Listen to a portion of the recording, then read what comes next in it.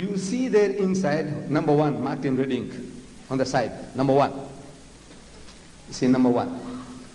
It reads, Whoever knows the Old and the New Testaments and then reads the Quran, whoever knows, not just reading, who knows means who understood the message of the Old Testament and the New Testament, and then reads the Quran, clearly sees the, and the words, process by which it completely reduces divine revelation. The words process by which it completely reduces divine revelation are in italics. You see the type is different. Italic means everything in this book in italics means that the Pope with his own hands he underlined it for emphasis. These are in italics, process by which it completely reduces divine revelation. Hmm. This is what he's telling his Christian readers. Because I don't know how many Muslims have read this. In the first meeting in London, not one. I'm asking the people, is there a single Muslim who owns this book? Who owns this book? Single Muslim. Not one. In the second meeting, another packed hall, I asked the same question, is there a single Muslim who has, who owned this book or has seen this book? Two persons. In a packed hall of 3,000. Two persons. Don't know that they were Muslims or not, but I take them. They, they were Muslims. I'm asking the same question here tonight. Is there anyone in Bradford who owned this book? Please put up your hand. I want to reward you. Anybody, anybody who's got this book? Not one? Not one in these 3,000 people here? Amazing, amazing. I have been offering reward. I said, now there are two reasons why a Muslim is not likely to have this book. Two reasons. I give you one already. I make it easy for you. I make it easy for you. Number one, the price of this book is nine pounds ninety-nine pence. for this, 244 small pages, newspaper. This paper is like newspaper. Hmm? Small, small, small paragraphs. You know? This book here 244 pages, 9 pound 99 pence. If you gave 10 pounds, you get this one, cent, one, one penny change, this one. You see this penny here? If you got time to wait, they'll give you this one penny change. so number one reason is, is price. Is too expensive. Prohibitive. That's one of the reasons why you wouldn't be buying a book. Another reason, my sisters, first chance. You give me that reason, I give you this tape of mine. This was supposed to be a debate between me and Swami Agnivesh, a Hindu in Durban, on the concept of God in Islam, in Hinduism and Islam. I give my daughters a chance first.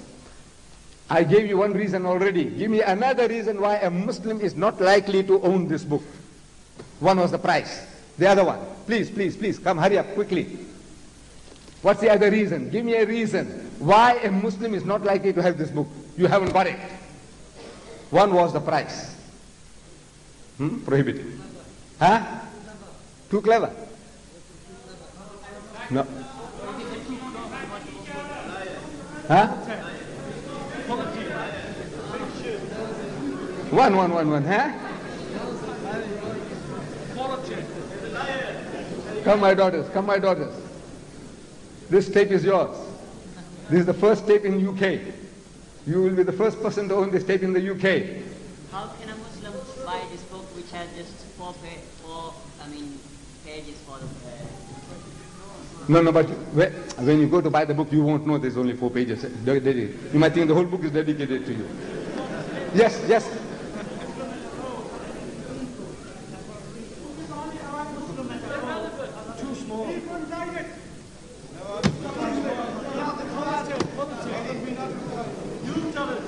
I'll tell you. I'll tell you. You see, the main reason, the main reason, huh?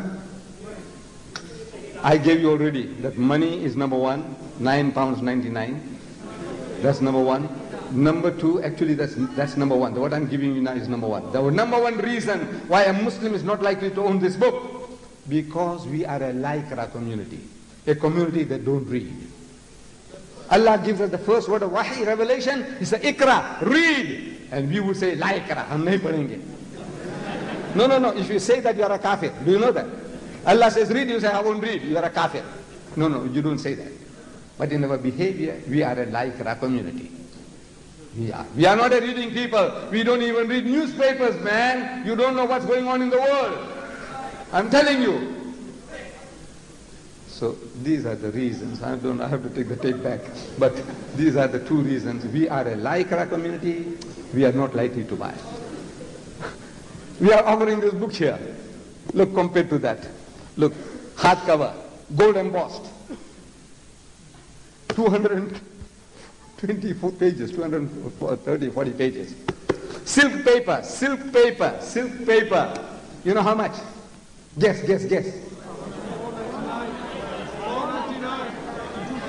Right, right, right. Says five pounds, let's say five pounds. And if you buy one, you get one free. I'm telling you, I'm telling you, look, you buy one, you get one free. No Christian, Jew or Hindu can do that. Wallah, no. No, I'm telling you, nobody can. To give you a book like this, gold embossed, gold embossed, hardcover, silk paper, and the subject, Islam and Christianity.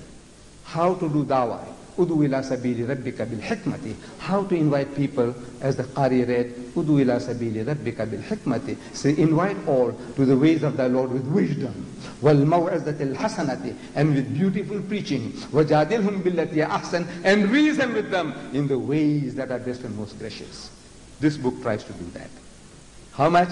Five pounds a book, and one you get free. Five for every one you buy. I said, buy two, man. Buy ten, man, buy ten. Give it to your friends, your brother-in-laws, your son-in-laws, your employer, your employee. If you gave them two pounds ten shillings, because that will be costing you two pound ten, two pound ten. Two pound ten shillings. Is that you, got, you don't call it ten shillings anymore? It's fifty pence, two pounds, two fifty. You gave anybody two fifty, he will tell you, thank you, sir, thank you very much, boss, you know, your, to your employee. But behind your back, he says, the very bastard. Gave me, gave, me, gave me two rand and fifty pence. He said, I can't, couldn't buy a bloody hot dog with this. Am I right? Yeah, I can't buy a bloody hot dog with this two pound fifty pence you gave. But if you gave him a book, he'll never say, I couldn't buy a hot dog with this. Give it to him. Dawa. If you can't talk yourself, let this book do the talking. And they're available. As you are going out, they're available. Buy two, buy four, buy ten. Man, is the cheapest thing that you can buy on earth today. Cheapest thing on earth. Compared to five, nine, nine pounds, 99 pence for this measly thing. right. So I says, now let us have a dialogue. We who are so close to you, Your Holiness.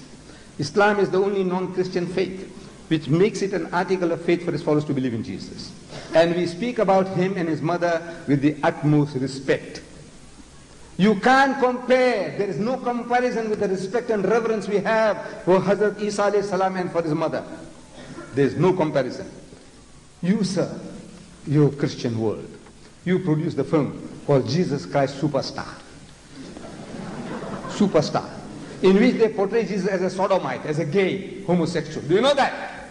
Their God as a homosexual. He is portrayed as a homosexual in that film, Jesus Christ Superstar. And in the Westminster Abbey, in April, Easter, Easter. You know Westminster Abbey in London? That's the holiest of holies for the Anglican Church in this country, where the Queen goes, the defender of the faith, the Queen of England, she goes there. Maybe she was there. This is from in my newspaper dated Sunday Times, April 16th, April 16th, Easter, Easter, 1995. I'm reading what it says. Shock, shock at obscenities in crucifixion play. They had the play of crucifixion that Jesus Christ is born and has grown, and at the age of 33 he's getting crucified. Excruciating, pain, agony. See, a play in which Jesus Christ was referred to as, you can never guess. I give you a thousand guesses, you can never guess what it says here. Jesus Christ is referred to as a sorry looking bastard. No, no, look, these are uh, Christians talking about their God. This is how they're addressing in, in the Westminster Abbey. And maybe the Queen of England was there, the different